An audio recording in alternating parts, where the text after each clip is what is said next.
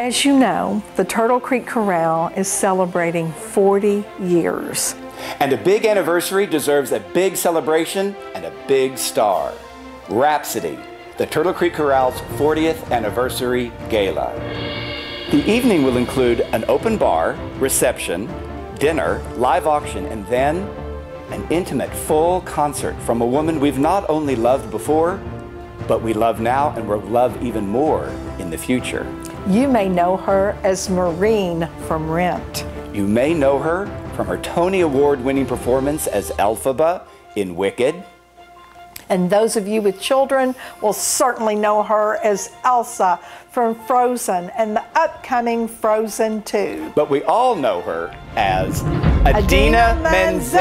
Menzel.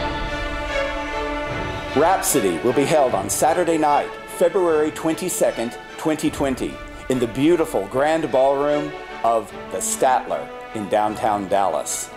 Tickets start at $350 and range up to $2,500.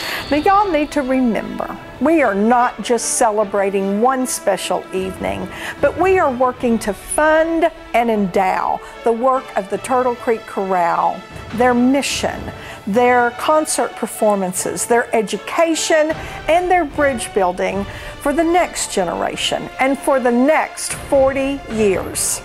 For tickets and tables, visit rhapsodydallas.com. When it comes to this amazing one night only opportunity, don't let it go.